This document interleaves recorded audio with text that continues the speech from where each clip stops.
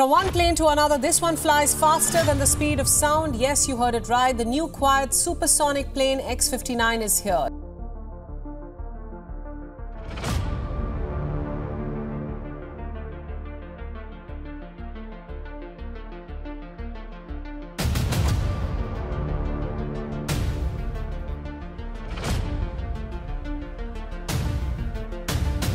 X-59 plane is designed to break the sound barrier quietly. Well, if you're a fan of high-tech aircrafts, you're going to love this. NASA just unveiled its X-59 aircraft designed for a quieter type of supersonic flight. Plane that will get you across the country faster than the speed of sound. There is a whisper of thunder stirring in the desert air at Edwards Air Force Base, California. It's not the boom you'd expect to rattle windows and nerves for miles, but a subdued thump barely distinguishable, more potential than echo. This is the overture to a chapter of aviation history that's been closed for decades, defined by shattered records, prohibitive barriers, and dreams grounded by the laws of physics and policy. Now, for the first time, NASA's X-59 quiet supersonic research aircraft has begun its low-speed taxi tests, rolling forward both in a literal sense and across the threshold of technological change that could recast the future of high-speed flight. The X-59 stands at the intersection of long-standing ambition and new possibility, an experimental jet uniquely engineered to fly at supersonic speeds, approaching about 925 miles per hour, without the infamous window-shattering sonic boom that accompanied aircraft such as the Concorde and military interceptors. Instead, it is designed to create a gentle thump a technical innovation that seeks to resolve the enduring tension between velocity and tranquility. Within the X-59's sleek, meticulously shaped fuselage, the principles of aerodynamics meet decades of regulatory caution. This moment marks the beginning of a campaign that stretches far beyond engineering prowess. With the X-59, NASA is not only exploring new realms of speed, it is gathering vital evidence to support reconsideration of the FAA's long-standing ban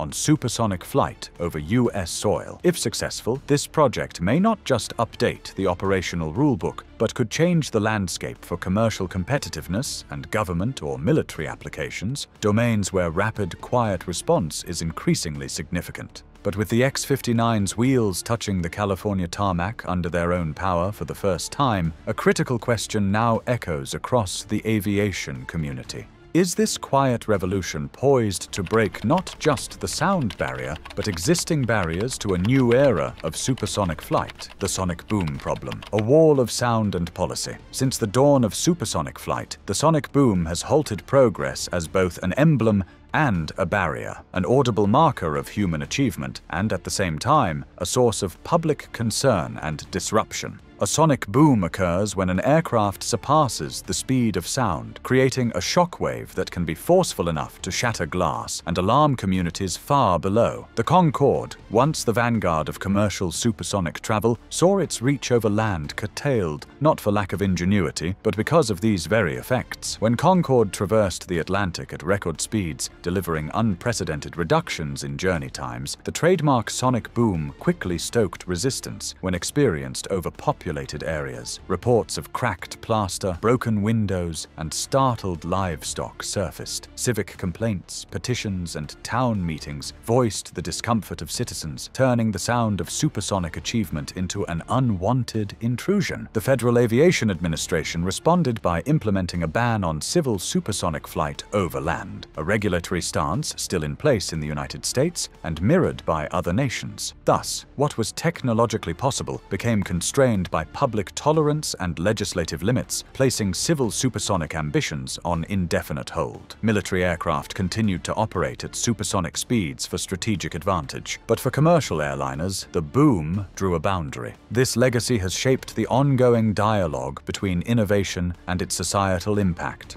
Throughout the years, engineers and policymakers have revisited the roots of the boom problem, exploring new aerodynamic designs, refining propulsion methods, and conducting in-depth acoustic studies. Again and again, they reached the same conclusion. Unless the boom could be controlled or mitigated, supersonic travel would not be acceptable over land. Research efforts persisted, yet the technical and societal challenges ensured that public acceptance remained elusive, making the sonic boom a case study in the tension tension between technology and community standards. The X-59 embodies a shift in approach. Rather than retrofitting solutions onto established designs, it is purpose-built from the outset to minimize the boom's impact. NASA and Lockheed Martin have collaborated to directly reshape the craft and the consequent shockwaves, aiming to produce a softer, less disruptive sound at ground level. This approach seeks not only to address technical challenges, but to change perceptions and potentially policy. What does it take to transform decades of stagnation into the quiet hope of a new era? Engineering silence, the X-59's design. Every element of the X-59 has been honed toward a single goal, redesigning the shape of supersonic noise. Here, the science of aerodynamics is advanced not just to achieve high speed, but to orchestrate quiet. Far from resembling earlier supersonic transports, the X-59's profile is unusually slender and elongated, with a needle-like nose extending well beyond conventional proportions. This configuration was dictated by years of computational modeling and wind tunnel testing, all geared toward breaking up and attenuating the pressure waves produced at supersonic speeds. The shape ensures that pressure waves do not combine into a single, harsh boom. One of the most striking features is the unconventional cockpit placement. Rather than a standard forward-facing canopy, the cockpit sits low within the fuselage, depending on advanced sensor systems and high-resolution displays to give pilots adequate external visibility. This enables the forward fuselage to retain its optimal aerodynamic curve, further smoothing shockwave formation. Traditional supersonic jets generate sharp, focused shockwaves that merge and strike the ground as a single, intense boom. In contrast, the X-59's elongated nose and fine-tuned surfaces carefully control the release and distribution of pressure waves. The aircraft's single top-mounted engine and tailored exhaust placement contribute as well, further blurring and diffusing the sonic signature before it reaches the ground.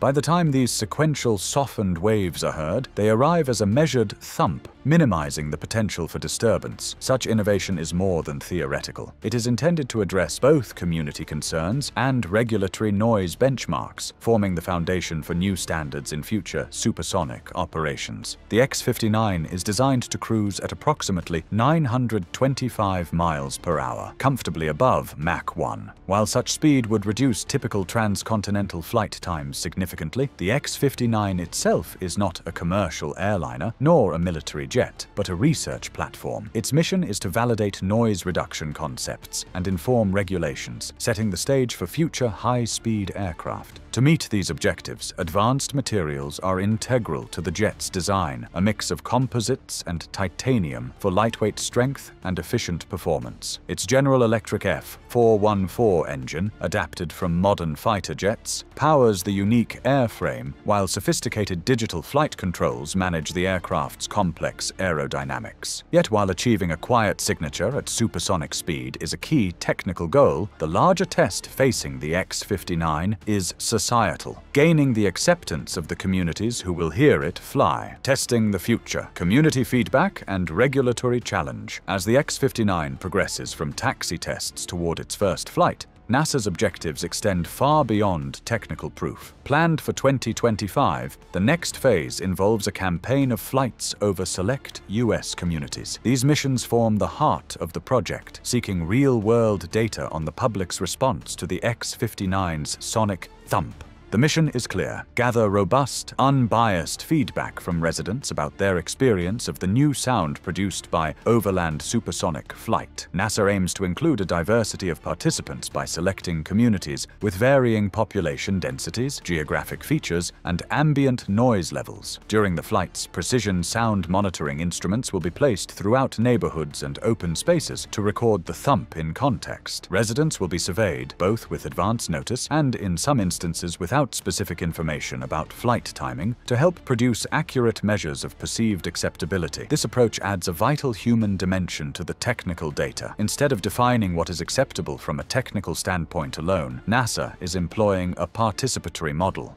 engaging those directly affected and soliciting their honest reactions. The outcome will help determine whether quiet supersonic technology is truly unobtrusive or simply an improvement over previous generations. These data are vital not only for internal evaluation, but for presenting compelling evidence to regulators such as the FAA. Central to changing policy is demonstrating not just theoretical noise reduction, but documented public acceptance. The findings will inform efforts to establish new noise standards for supersonic flight, necessary steps before any potential revision of existing bans. NASA's engagement strategy is mutually supportive with its technical goals. Outreach initiatives, community meetings, educational sessions, and transparent data sharing ensure that residents understand both the technology and the rationale for the tests. Public education will focus on connecting the thump with broader potential benefits, such as shorter travel times and expanded economic opportunities. Through this combination of technical measurement and public engagement, NASA and its partners are working to align innovation with community standards, laying the groundwork for possible regulatory transformation. First steps on the tarmac, taxi tests, and technical milestones. The steps from design to flight are complex and incremental, particularly with an experimental aircraft like the X-59. In 2024, a significant milestone was achieved. The X-59 completed low-speed taxi tests at Edwards Air Force Base. These tests are more than symbolic. They are essential rehearsals that validate every component of the aircraft, from brakes and steering to avionics and flight controls. Taxi tests may appear mundane, but for a uniquely configured jet like the X-59, they provide the first real-world demonstration that all systems interact as designed. NASA and Lockheed Martin engineers monitor these runs intensely, capturing data on system responses and driver integration. Any discovered discrepancies or malfunctions are addressed before further milestones. The successful completion of this phase confirms readiness for the next steps, initial flight, gradually expanding into higher speed and altitude. Each phase is rigorously documented and analyzed, satisfying both internal safety standards and external regulatory requirements. The collaboration unites NASA's research expertise with Lockheed Martin's manufacturing capabilities and the operational discipline of test pilots, ensuring that reliability is maintained at every turn. With every successful test, the project builds confidence among engineers, pilots, regulators, and the public that the the X-59 will fulfill its mission as a testbed for quiet supersonic innovation, regulatory hurdles, and strategic implications. The path to civil supersonic transport over land is determined as much by regulation as by technology. The FAA's ban on commercial supersonic overland operations remains a central obstacle, grounded in the goal of protecting communities from disruptive noise. The X-59's performance is therefore only one factor in a broader process requiring data, public engagement, and policy coordination. Even as the X-59's technology demonstrates potential, NASA and international aerospace partners understand that changing regulations will require methodical effort. The global airline industry, massive in scale and scope, has long hoped for a breakthrough in quiet supersonic travel. Should demonstrable noise reduction be achieved and accepted, the door may open to supersonic transport designs that can operate over populated areas without disruption. NASA's program thus represents a deliberate effort to provide the evidence base regulators need. By conducting community noise tests and compiling comprehensive technical data, the agency hopes to foster an environment where new regulations, based on measured impacts, not just theoretical standards, can be crafted. International bodies such as the International Civil Aviation Organization, ICAO, will also play a key role in harmonizing standards to prevent inconsistencies between countries countries. If new standards are adopted, commercial aircraft manufacturers may pursue quiet supersonic designs, invigorating competition and innovation worldwide. Airlines could offer shorter transcontinental and intercontinental routes, reshaping global business and travel patterns. Governments would have new options for fast, minimally disruptive air transport. The ramifications would be felt not only in civil air travel, but also in commerce and national security logistics. However, the process will necessarily be incremental. Regulatory changes of this scale are challenging, requiring years of research review, public comment, safety validation, and international negotiation. The X-59's data collection campaigns are only the first steps, and follow-on projects will likely be needed to explore impacts at greater scale or in varied environments. The new competitive landscape, Supersonic's next steps. The X-59 is not intended to be alone. Its success will likely spur additional research and development, both in the United States and internationally, to advance quiet supersonic technology further. Aerospace companies are already preparing design concepts for next-generation business jets and, potentially, commercial supersonic airliners if the regulatory tides turn. These efforts focus not just on speed, but on noise minimization, fuel efficiency, and environmental compliance.